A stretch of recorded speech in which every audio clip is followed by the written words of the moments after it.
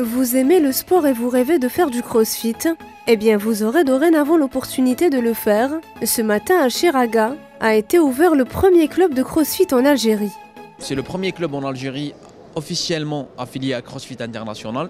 Donc l'information elle est vérifiable sur le site officiel de CrossFit, crossfit.com ou bien directement maps.crossfit.com. Un sport pour tout le monde. Donc euh, un professionnel peut, aller faire de la compétition comme un, amateur peut se préparer à aller faire de la compétition.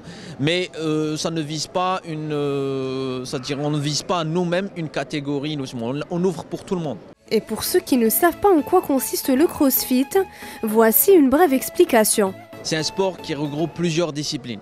C'est, euh, à dire faire de la gymnastique, faire un petit peu euh, haltérophilie, euh, faire de l'athlétisme. Et puis les gens trouvent leur bonheur dans ce sport parce que c'est un sport ludique.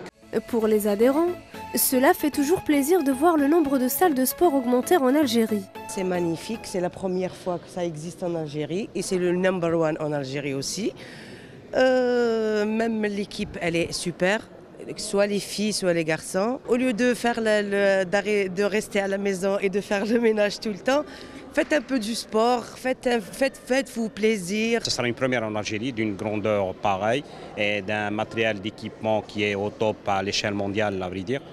Là, je, pense que ça va faire quelque chose d'extraordinaire au niveau des futurs adhérents un, tarif assez raisonnable à 4000 et quelques miettes. Donc c'est actuellement à 4800 dinars le mois en illimité avec un accès libre et illimité par semaine. Eh bien, si vous aviez l'intention de faire du sport mais que vous hésitiez, le moment est peut-être venu pour vous de vous lancer, car le sport, c'est avant tout la santé.